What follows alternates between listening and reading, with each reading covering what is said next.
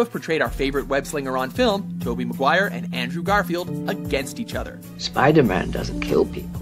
Round 1 Origins. After an unfortunate incident involving a radioactive spider, Peter Parker took to wearing bright blue and red and fighting crime as Spider Man. Your friendly neighborhood Spider Man. Oh, and his uncle was murdered. Simple and elegant, no need to complicate things. He never doubted the man you'd grow into. How you were meant for great things. Tobey Maguire Spider Man followed that structure almost to the letter, except that weird bit about organic web shooters. We have James Cameron to thank for that. Peter got bit, passed out, and then didn't need glasses anymore and went off to fight crime in his Spidey suit. Just a decade later, that simple and elegant story got a bit more complicated. Mary, have to go. Andrew Garfield's Peter Parker was abandoned at a young age by his parents, who may or may not have been super spies.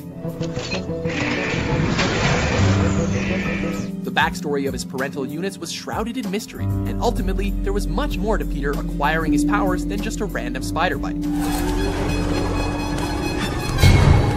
By the time the sequel rolled around, Columbia Pictures and Marvel Entertainment got a bit more confident about changing the Spider Man origin story. It's just the wrist, it's just all in the wrist, buddy. Now, you don't get points for changing the formula that much, so we're giving this round to Tobey Maguire. Are you afraid that I'm gonna turn into some kind of criminal? Round 2 Portrayal of Peter Parker. I'm Peter Parker. Who is Spider Man under that swanky mask of his? At his core, Peter Parker was conceived to represent the archetype of high school nerdiness.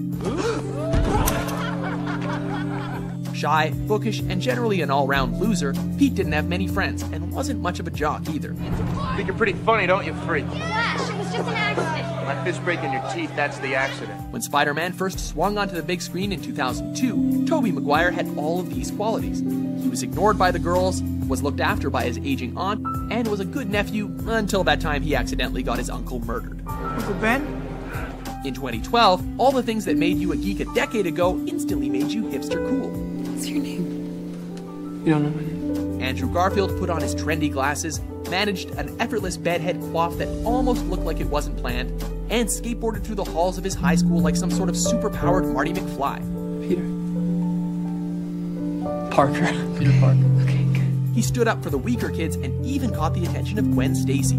While he is bullied somewhat, Garfield seemed a lot more like the cool older brother we always wanted, but that's not 100% faithful to the true essence of Peter Parker. If we're going by comic book standards, which we are, Tobey Maguire takes this round with a knockout. Number 3, Portrayal of Spider-Man. Who am I? I'm Spider Man. Tobey Maguire suspended our disbelief when he knitted the best cosplay costume ever and took to the streets as Spider-Man. The only thing was, he was still Peter Parker under that mask. He fought villains and saved kitty cats, sure, but he was still a big geek.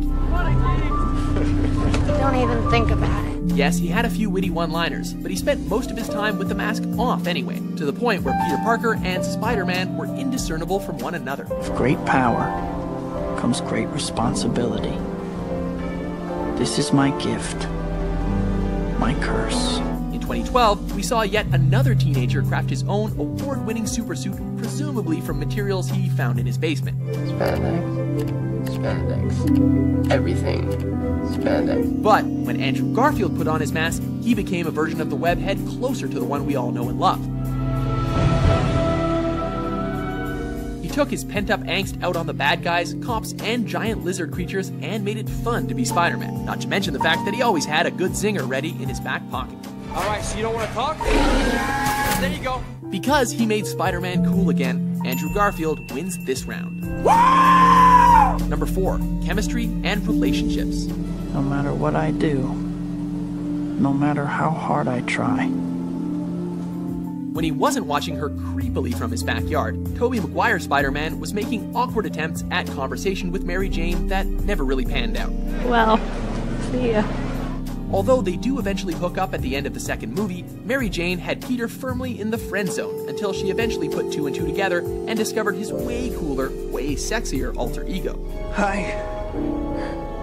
hi. He gets points for that upside down lip lock in the first film, but that might not be enough to win him this round. When Andrew Garfield's Peter Parker and Emma Stone's Gwen Stacy broke the ice, the chemistry was technically instantaneous. You following me? No, I'm not following. I'm not following you. No, I'm not. They flirted, joked, and generally gave each other the googly eyes. And before you knew it, they were dating. Now that is one smooth webhead. Shut up. Though it might not be the traditional wait a few years and see if she notices me approach that we're used to from old Petey, it managed to spice things up and made for a much more engaging story.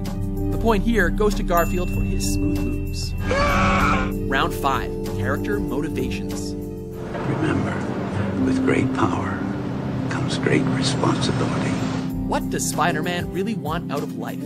Tobey Maguire's wall crawler only wanted to help make a difference, to make sure that the streets were a safer place, and to put his powers to a good and noble use. You're not Superman, you know.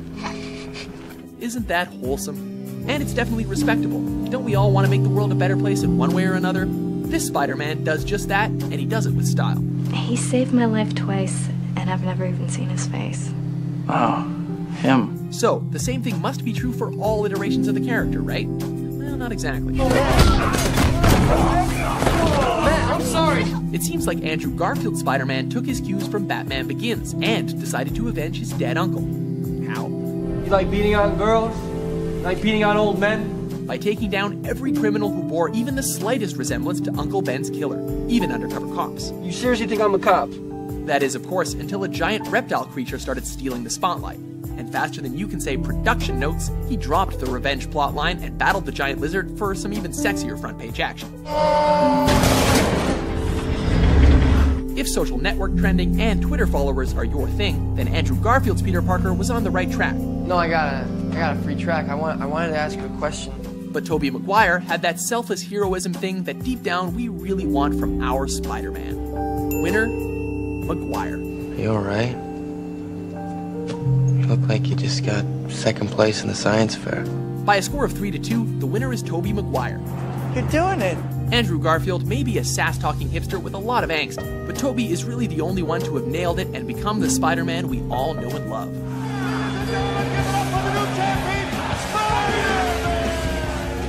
What did you think of our friendly neighborhood verdict? I'm sorry.